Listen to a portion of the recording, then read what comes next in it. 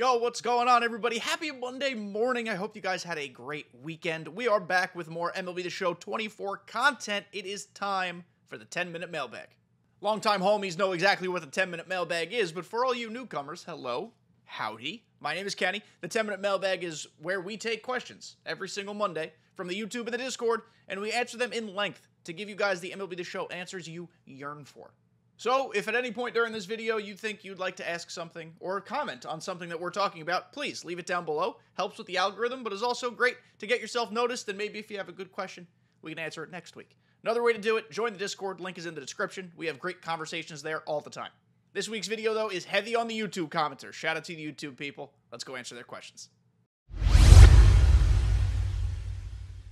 We have placed, as always, 10 minutes on the clock. You'll see it right up here in just a second. So we're going to answer as many questions as we can. I've got four of them queued up. Three questions and one comment, really, but a comment that's certainly worth talking about. It was not phrased in the form of a question, but I appreciated the comment, so we're going to talk about it. So in three, two, one, let's begin. Our first question today comes from Brax is faulty. Brax is faulty. I apologize if I said your username wrong. What would your opinion be on if SDS added managers, mascots, and home run celebrations for Diamond Dynasty? Without getting too much into it, the rest of his question basically insinuating that each of them would boost a different type of thing. So here's where I stand on boosts.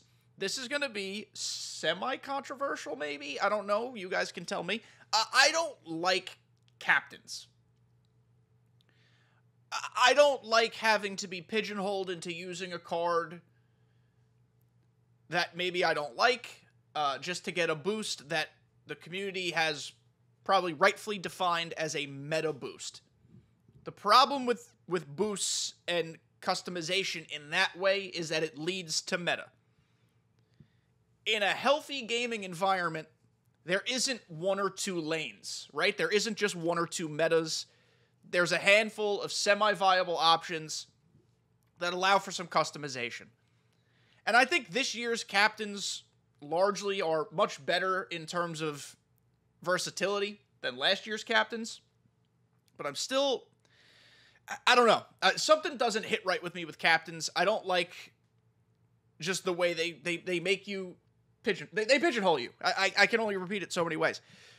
So the manager thing is different.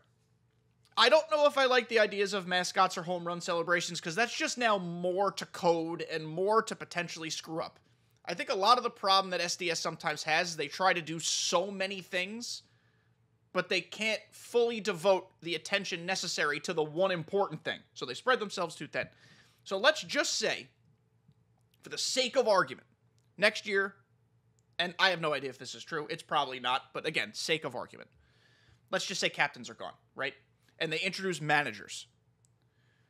A, the problem potentially with managers is the rights issues. Now, we don't actually have to have the manager's name and likeness. We could just be like, manager Billy Bob and like just make names up. That's perfectly that's perfectly fine. Otherwise, you've got to get the rights to 30 MLB managers and maybe legend managers, which would be cool but very hard. But what if the manager boosts, and I think this is what you're more getting at, essentially did what captains do.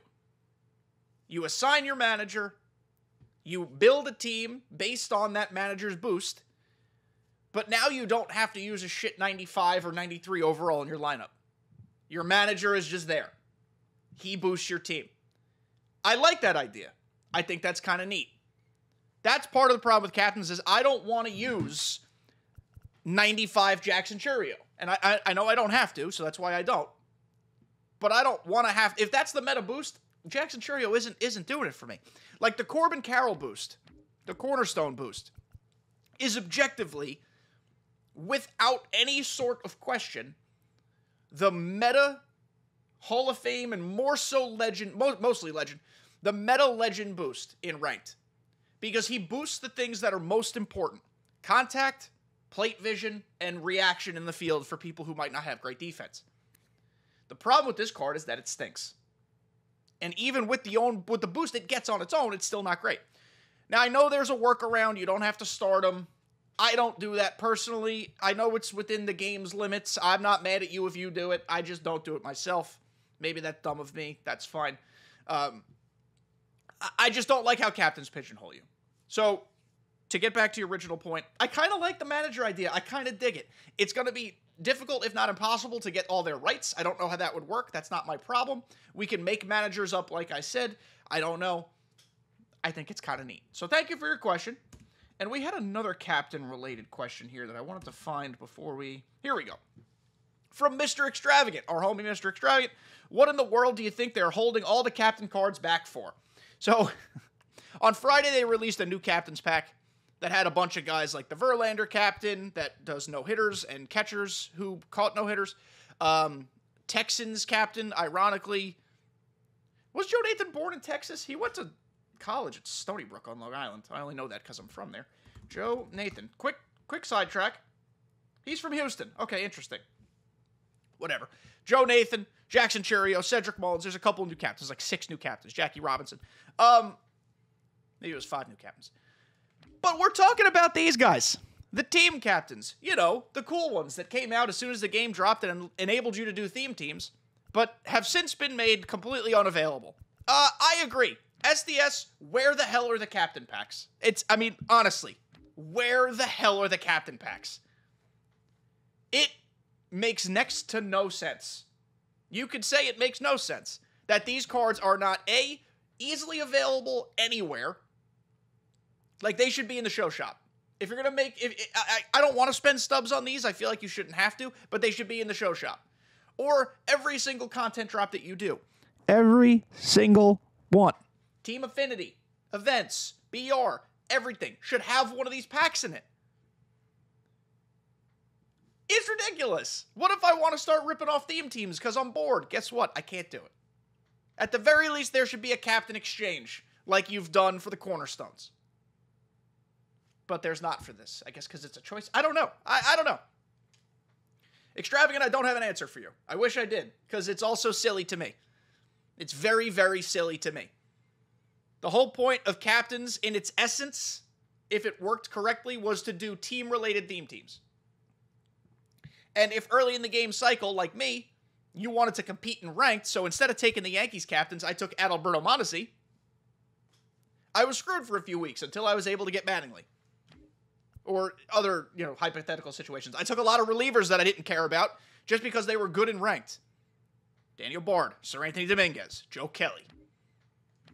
It's just silly. I, it does that one. I, I cannot fathom why these cards have not been dropped more. I, I can't fathom it. If there's an answer, let me know. If you guys have theories, let me know. I can't explain it. I can't fathom it, and it bothers me because they're just they're just filler cards anyway. They should be free. They're supplemental. Just put them in the game somewhere. Extravagant, thank you as always. Next up to this comment that I wanted to talk about uh, from Alex Tony. Shout out, Alex. I think a huge issue with the content is simply how they space it out.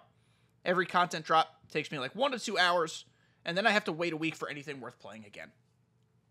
I wanted to address this not because Alex is wrong, because he's not, um, but I wanted to just spin it a different way.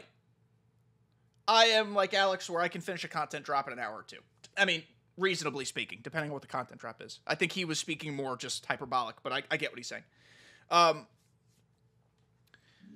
I think sometimes we all have to remember, and I talked about this with Kreiner on the podcast recently. I think people like MLB The Show players who live in the YouTube and Twitter and Twitch community and who talk about the game and who like in some ways, in some essences, like live and breathe the game. Um, we take for granted that we understand fundamentally how things work. We understand efficient ways to do things. We understand this. We understand that. We are only like what 10% of the game playing population. That's just a guess. I don't know what it actually is, but it's not high. So there are people where when this content drop comes out, which I haven't finished, ironically, when season two, like every season two awards content drop, or just season awards content drop in general, might take people a week because they don't fundamentally understand the most efficient way to go about doing things. And I, I, I mean, it, it, in my opinion, it's really not that hard to figure out, but we can't take that for granted.